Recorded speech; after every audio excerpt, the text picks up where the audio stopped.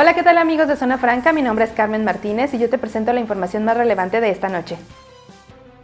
Una familia salió de excursión a Peña de Bernal en el estado de Querétaro y al regresar a su hogar en León se dieron cuenta de que habían sido víctima de los amantes de lo ajeno. El robo quedó grabado en video. Los ladrones se llevaron pertenencias como una laptop, tres pantallas inteligentes y un auto Ford Fiesta de color azul modelo 2010 que estaba estacionado afuera de la casa.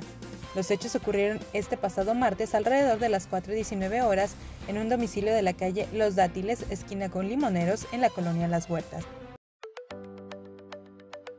A través de la justicia alternativa se solucionan los conflictos de una manera ágil y gratuita. Este año se realizaron más de 11.107 audiencias, así como 9.688 convenios de mediación, que representan un alto grado de efectividad. De acuerdo al índice de Estado de Derecho en México, los mecanismos alternativos de solución de controversias en Guanajuato son accesibles, imparciales y expeditos. Informe de actividades 2022 del Poder Judicial del Estado de Guanajuato. Justicia con excelencia e innovación.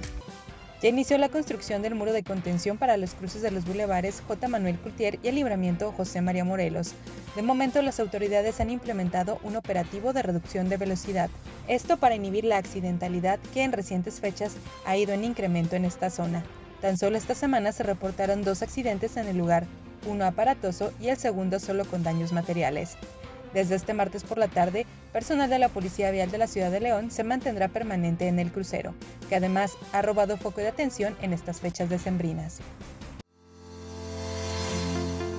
Consolidamos la implementación del sistema de justicia laboral en la entidad. Actualmente, estos conflictos se resuelven en las cuatro sedes jurisdiccionales ubicadas en Guanajuato, Celaya, Irapuato y León. A través de procesos ágiles y predominantemente orales, este año hemos emitido más de 964 sentencias en un tiempo aproximado de 43 días hábiles para su resolución en beneficio de las relaciones obrero-patronales. Informe de actividades 2022 del Poder Judicial del Estado de Guanajuato. Justicia con excelencia e innovación.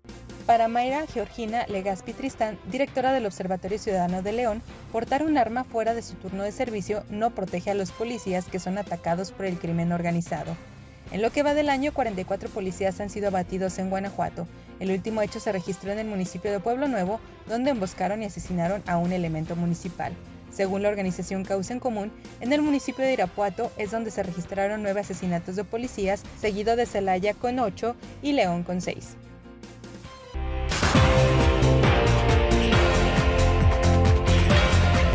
No se olviden de seguirnos en nuestras redes sociales y de estar pendientes a través de zonafranca.mx. Mañana no te pierdas las breves de la zona a las 3 de la tarde.